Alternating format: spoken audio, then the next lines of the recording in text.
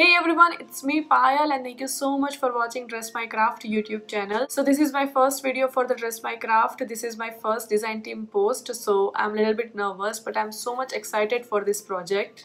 So today I'm going to show you how to make this light up tunnel greeting card. It's a tunnel card. You can see so beautiful. I just love it. And here's the switch so it looks like this. So i'm going to show you how to make this beautiful card.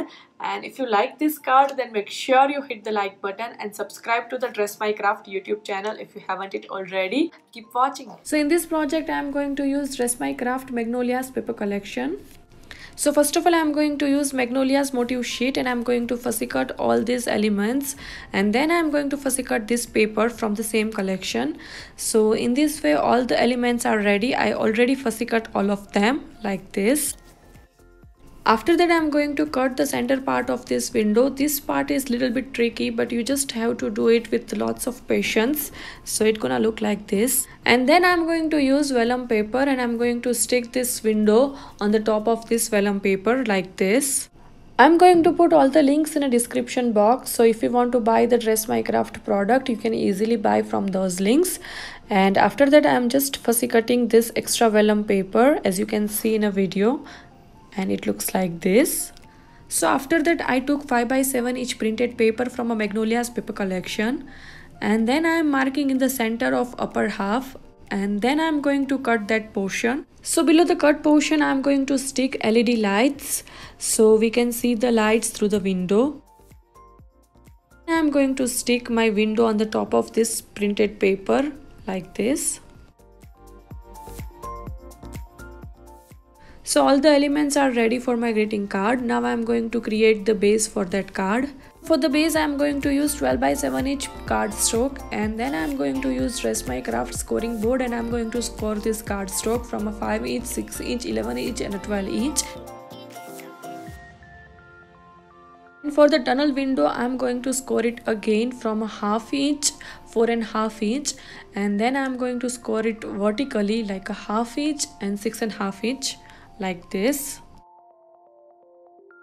And then I'm going to cut the center part of this cardstock so it's gonna look like this. So after that I created a complete circuit using two wire a battery and SMD LED and then I created on off switch using half folded paper. I stick the positive side of the circuit to the battery and the negative side I stick to the folded paper. So whenever I press the paper it completes the circuit and the lights will turn on and then I am going to stick this circuit on the top of this base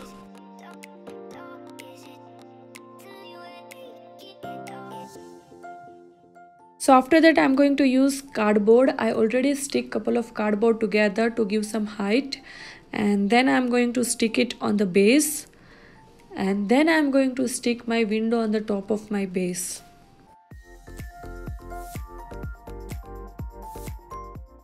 And then I'm going to stick another layer. So for the height I'm going to stick all the layers with the cardboard so it's gonna create proper height.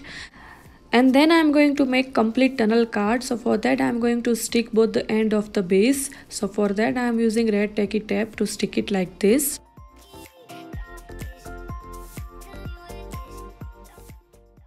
And in the last I'm going to stick all my fussy cuts on the top of my project and for that I am using a cardboard to give some dimension. You can also use two-way tape.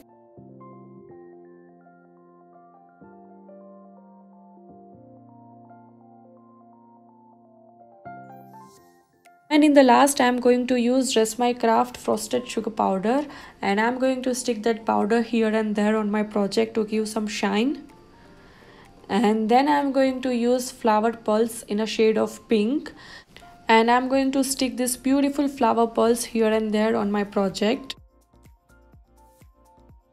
This way my light up tunnel greeting card is ready and I hope you like it. I used all the product from the Dress My Craft so if you want to buy the same product then just check the description box so you can buy from the Dress My Craft website. I hope you like this video. If you like then make sure you hit the like button and if you have any doubt regarding this card then just comment below. I will help you for that thing. And right now I'm signing off from a Dress My Craft YouTube channel. I'll see you soon with my new tutorial. Till then, bye bye.